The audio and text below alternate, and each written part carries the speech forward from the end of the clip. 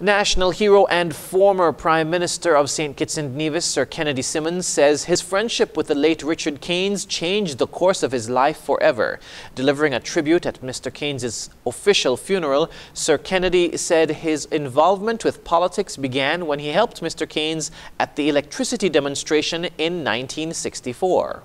I went to the demonstration intending just to be one more person lost in the crowd of protesters. I ended up carrying the banner in front of the marchers simply because my friend Richard was carrying the banner and he could not carry it alone. At that time, involvement in politics was not even a thought. Sir Kennedy noted that most recently, Mr. Caines used his time to have an impact on children through his interaction with students of the Dr. William Connor Primary School. Richard loved children. He adopted a class at the William Connor School and the children loved him.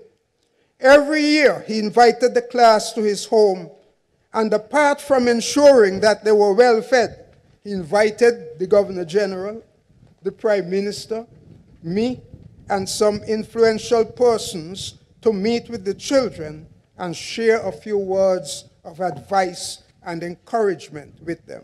Richard Caines passed away on July 27 at the age of 87.